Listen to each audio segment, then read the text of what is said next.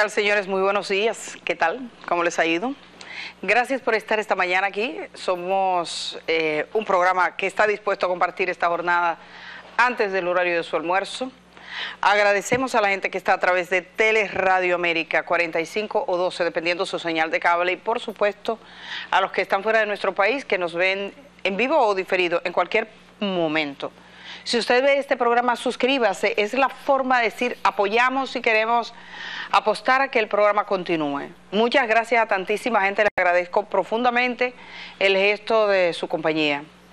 Y bueno, quiero comenzar agradeciendo, por supuesto, a todos los que están. También a los que están en todas las transmisiones, porque siempre mostramos esta, pero estamos en Facebook también. Ahí Pedro, Pedro Luis lleva ese canal y y la gente entra y se suscribe. Gracias a ustedes y espero sus comentarios o preguntas. Les aviso desde ahora que el próximo miércoles vamos a tener aquí, quiero compartir un programa con una gente conocedora del territorio. Yo creo que de los periodistas, de las periodistas de este país que conocen palmo a palmo cada rincón de la República Dominicana, ella, si no la que más, debe estar entre la que más. Altagracia Salazar. Y yo le he invitado a Altagracia para que hablemos de toda la zona fronteriza. ¿Qué es la frontera de República Dominicana y Haití? Ese territorio, por ejemplo, ahora que estábamos detrás de un caso, que es el de una joven que, que, sigue un proceso durísimo, primero lo de, la detiene una joven dominicana, la detiene migración, eh, la policía, la pasa a migración. Migración hace un acta de repatriación como ciudadana haitiana hacia Haití. He dado el número de esa acta, pero esta joven es dominicana, la familia comienza a pedir que por favor. Y nosotros comenzamos a decirlo. Y eso trae una consecuencia. Habían pasado como 48 horas la familia le estaba buscando desde el día 20, de la semana pasada. Y yo, sorpresa, la joven aparece en un parque de Hondo Valle. Después se desaparece ahí, pero la localizan. Actualmente está en su residencia, Cristina Martínez, y dicen que fue abusada sexualmente y golpeada. Y ella ella no, ella, ella está reaccionando con mucha eh, agresividad. La tía dijo, me separo de este caso. Para la familia hoy es más difícil atenderla que antes. Si ya era difícil, ella nació en el seno de una familia muy pobre y dos de sus hermanas la han cuidado toda la vida y ella salió embarazada en la circunstancia propia de su vulnerabilidad. Y hoy para llevarla al médico, la hermana esperaba porque el pasaje no lo tenía y se lo llevó la tía. Entonces, esa es la situación de pobreza. Pero lo que iba, la razón por la que mencioné este caso ahora, que le hablaré un poquito más, es porque fue en Hondovalle. Y yo le preguntaba a Altagracia, explícame Hondovalle. Dice, no, mira, ahí la carretera hubo una concesión que no se realizó. Eso es dificilísimo, eso es un punto donde la gente va y nadie pasa. Si es en el Yapí, tuvo que caminar entre los montes o de qué manera habrá llegado ahí a Hondo Valle, pero es en, ese entorno que está más próximo, está San Juan de la Maguana. Dice, eso pasa por Calimetico. Y ella me describía el terreno y las dificultades de acceso que tiene ese terreno. Obviamente, Cristina no llegó allí porque sí, a Cristina la llevaron. Ese, es uno de los casos de la semana pasada que a mí me dejó una profunda lección.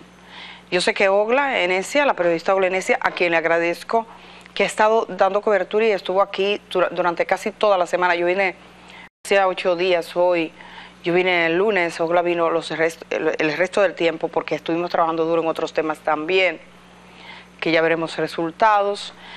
Y entonces, eh, ella estuvo acompañándoles a ustedes acá y les mostraba algunas cosas de este caso. esa es la labor esencial del ejercicio periodístico, mostrar, sobre todo porque estos casos son simbólicos o representativos, te advierten cómo a veces actúan las instituciones del Estado. Yo recuerdo a la ex vicepresidenta de, Costa Rica que la entrevisté antes de ser vicepresidenta de ese país y después cuando ya lo era, y ahora no lo es, que ella hablaba de un elemento en la clase dirigencial de su país y ella decía, tenemos que recuperar la compasión. Y a mí me llamó la atención la palabra compasión en el lenguaje de una política. Pero casi cuando ves el discurso de muchos políticos en algunos países, está presente el elemento de las características propias de la humanidad. Pensar, el maestro de eso es Pepe Mujica, que habló a los jóvenes de cómo educar a, de cómo educarse. Le decía, jóvenes, no se gasten todo el dinero, se ponen a trabajar todos los días para pagar una tarjeta de crédito. Se les va la vida pagando cacharros. Le decía, jóvenes, el dinero que se ganan con su tiempo es vida. Es un pedazo de vida que regalas cuando botas el dinero, porque para ganarte lo diste de tu tiempo de vida, dejaste de vivir. Eso lo encontramos con él. El tipo que te está diciendo qué es la felicidad a fin de cuentas. O te está preguntando, miren, los padres hoy no tienen tiempo para sus hijos. Los padres dicen que le están dando a los hijos lo más preciado y se pasan el día trabajando y luego no tienen tiempo para conversar con la muchacha que se está haciendo mujer, que se está haciendo adulta, con el hijo que tiene dudas. Y así nos va. Y dice, no, no es solo ganar dinero, no es solo estar fuera, es estar con ellos.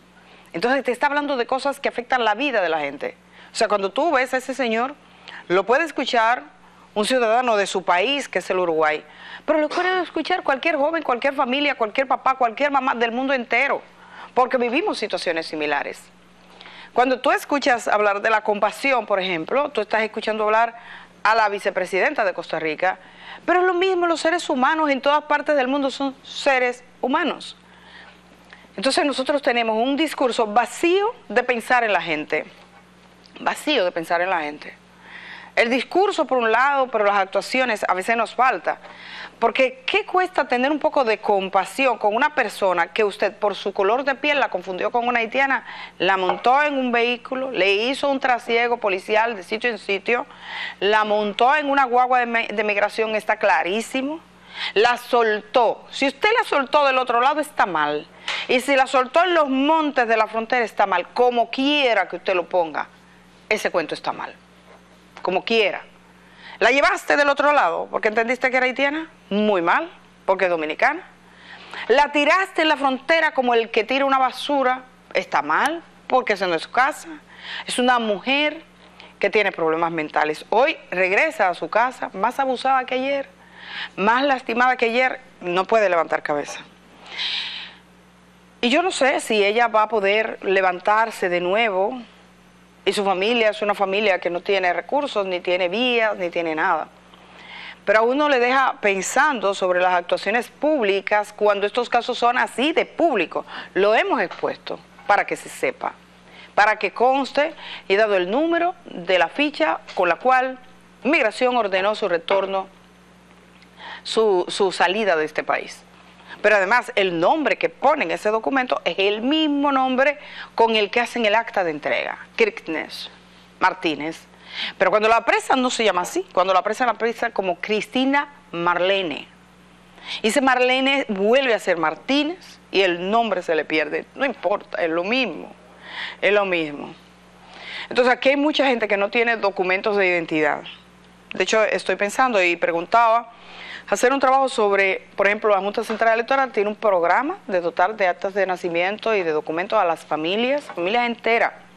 La presidencia tenía un programa antes, no sé si existe ahora. Y si usted es prieto, es negro, y si por si acaso se le enreda un chin el habla o, o, tiene una precariedad mental, significa que como usted no tiene el documento, nadie va a verificar la situación, eso se verifica.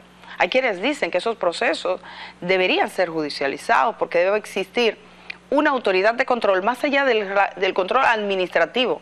Yo veo un abogado que opinaba en ese sentido. Es el tipo de control que nosotros quisiéramos en Estados Unidos cuando a los nuestros se les manda para acá.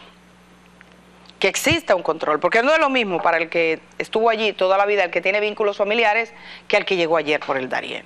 Lo verifican, se hace una verificación. Eso es importante. Y en este tipo de temas es muy difícil porque la gente tiene, no, no, no, es así, cerramos los ojos, todo es perfecto. Todo es perfecto porque eso es construir la patria, pero la patria no se construye con los ojos cerrados. Para construir patria hay que construirla con los ojos abiertos. Y, y Cristina es tan de esta patria como usted, como yo, y como el más alto de los funcionarios hasta el más chiquito de los ciudadanos. Ella, por su problema de salud mental, que en este país ya es un agobio, se encuentra en la última fila. En este país es un problema y en todas partes.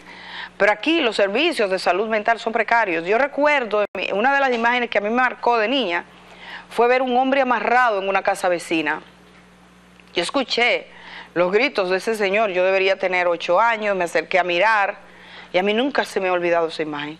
Y yo le preguntaba a mi papá, ¿por qué lo amarran? ¿Por qué lo amarran? Y me dijo, es que se volvió loco.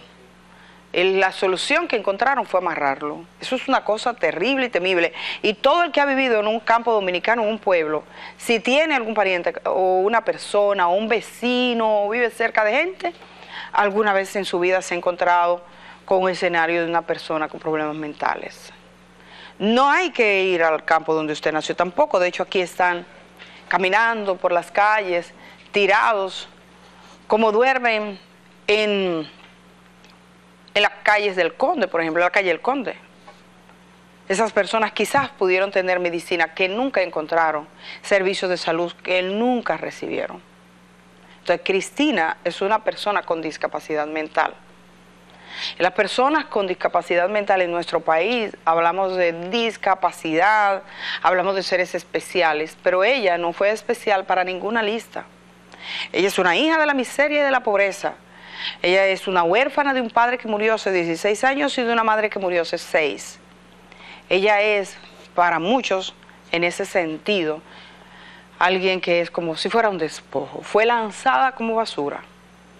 Yo siento una profunda pena por ese caso, porque pienso que nadie debe vivir una situación y sobre todo porque el futuro ahora es más incierto que antes.